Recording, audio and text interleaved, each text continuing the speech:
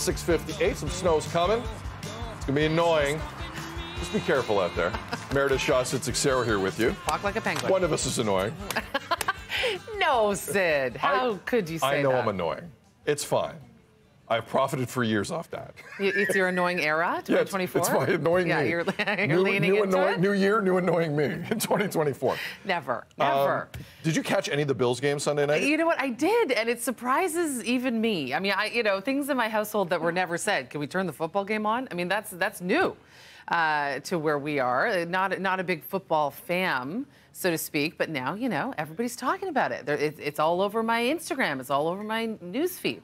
So I got to tune in and see what's up. And boy, did I see what's up. I mean, you have the football game. You have Taylor Swift there dating Travis Kelce. Yeah. But someone stole the show in front of 40 million Americans as KC beat the Bills. It's Travis Kelce's brother, Sure the did. Incredible Hulk, Hey, Jason, Jason. Kelce. like everywhere Taylor was was a shirtless Jason Kelce.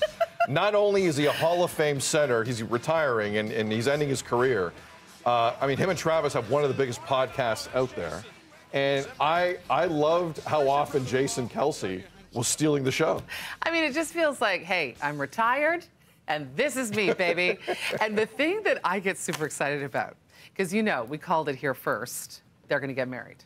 You, I you- still stand by that. She called it I still stand by that. That uh, you know, Tavis, Taylor, and Travis are going to get married. That guy's going to do a speech at the wedding. Amazing. Amazing. I love it. I just think he's being himself. Uh, you know, mom didn't mind, wife didn't mind. Everyone was just like, go, Jason. And I just thought, I just love him. I thought it was great. More show, you know? More I- show in that box. We need more show and not on the field. Like he was Yeah. jumping out of the box at times, talking to fans, Bringing fans up to see picked up Taylor a little girl with a Yeah. sign. Like, oh, well, we got the vi- we got the video of the sign here. Oh, we do? He Yeah, literally. he. I'm-. Now I'm pretty sure leaping out of a private box at a, at a sporting event is super illegal. Like uh, you're, I'm, you're Who's not. stopping him? sup- no Who's one. stopping Jason? No, No one. one. The one tweet No I one. saw a lot of uh, it- uh, is the one where guys were tweeting out.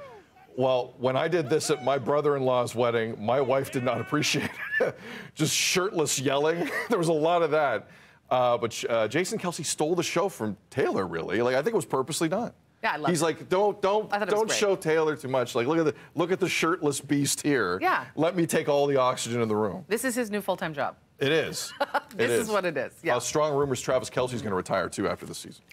You strong. You rumors. mentioned that to me a little bit ago. I Yeah. cannot. I, I mean, I can't believe it, and it's good timing. But wow, I mean, that's that's a mass exodus of the Kelce brothers. They played. Travis played like a guy in his last season on Sunday night. He had a purpose to his to his business. Mm. We'll see how that goes. Anyway, what a road show! And if that goes to Vegas for the Super Bowl, Kansas City, look out. 701. You're watching.